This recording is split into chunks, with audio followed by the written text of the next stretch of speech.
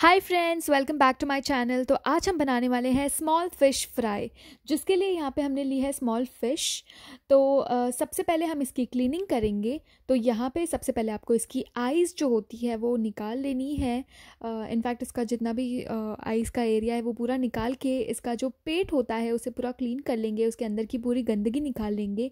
और साथ ही साथ इसकी जो पूछें होती हैं पीछे वो भी हम इसे निकाल लेंगे. और अच्छे से इसी तरह से इसे पूरी तरह से क्लीन कर लेंगे, अच्छे से वॉश कर लेंगे। तो चलिए फ्रेंड्स इसी तरह से बाकी सारे फ़िश को भी हम क्लीन कर लेते हैं फटाफट से। और उसके बाद जब ये पूरी तरह से क्लीन हो जाएगा तो सबसे पहले ये देखिए, हमने जितनी भी फ़िश थी, सबको उसी तरह से क्लीन कर लिया है, एक प्लेट में ले लिया है। अब हम इसे, इसका जो भी एक्सेस वाटर है, वो निकाल देंगे, जिसके लिए हमने एक छन्नी ली है। छन्नी में हम फ़िश को डाल देंगे ताकि जितना भी पानी है, इसमें से निकल जाए। फ़िश को छन्नी से निकाल लिया है।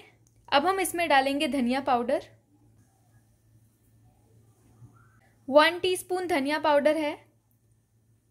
Half teaspoon turmeric powder. One teaspoon red chilli powder. One teaspoon salt. One tablespoon ginger garlic paste. One lemon लिया यहाँ पे, इसको स्क्वीज कर लेंगे। यहाँ पे लेमन काफ़ी बड़ा था, इसलिए हमने हाफ़ यूज़ किया है। अगर आपके पास छोटा लेमन होगा तो आप पूरा एक भी यूज़ कर सकते हैं। गरम मसाला पाउडर डाल देंगे वन टीस्पून अब इसे अच्छे से मिक्स कर लेंगे।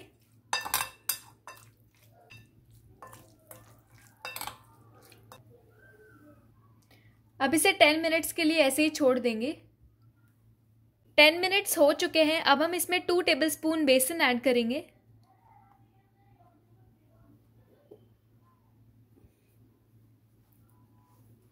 इसे अच्छे से मिक्स कर लेंगे।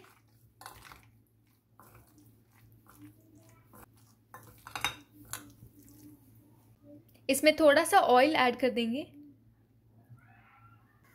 Around one tablespoon oil add किया यहाँ पे, और इसे अच्छे से मिक्स कर लेते हैं हम। बेसन को अच्छे से कोट कर लिया है हमने फ़िश पे। अब इसे और टेन मिनट्स के लिए छोड़ देंगे। ये देखिए फ्रेंड्स, अब हम एक पैन ले लेंगे, उसमें ऑयल डाल देंगे।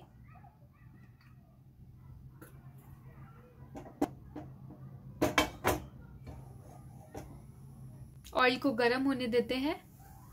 ये देखिए ऑयल अब गर्म हो चुका है। अब हम इसमें हमारा फ़िश का मैरिनेशन डाल देते हैं।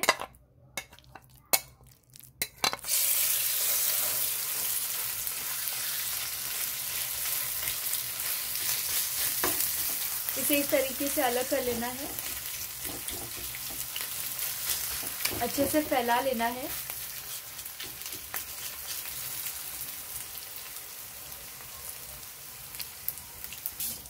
ये देखिए, अच्छे से फैला लिया है हमने। अब इसे मीडियम फ्लेम पे ही पकाना है।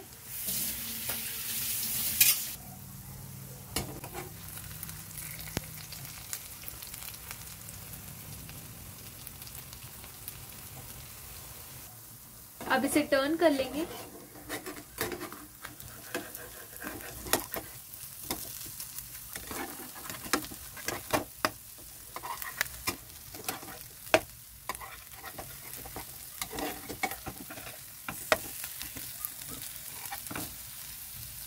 ये देखिए, हमने सारे टर्न कर लिए हैं। टर्न करने के बाद हम इसमें और हल्का सा ऑयल डाल देंगे।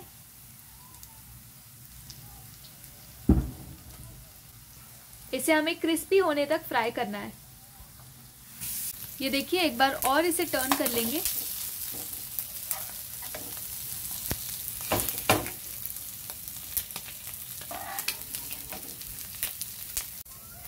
ये देखिए, अब ये बिल्कुल रेडी है। इसे गर्मा गर्म हम अब सर्व करेंगे। आप इसे रोटी के साथ खा सकते हैं। बहुत अच्छा लगेगा उससे। ये देखिए फ्रेंड्स हमारी रेसिपी बिल्कुल रेडी है, बहुत टेस्टी लगने वाली है ये। तो चलिए फ्रेंड्स इसी के साथ आज का वीडियो करते हैं कंप्लीट और फिर मिलेंगे एक न्यू और इंटरेस्टिंग वीडियो के साथ। चैनल को सब्सक्राइब कर लीजिए अगर आपने अभी तक नहीं किया है तो। वीडियो को लाइक करना बिल्कुल भी मत भूलिएगा और मुझे कमेंट में भी बताइएगा कि आपको ये वीडियो कैसी लगी।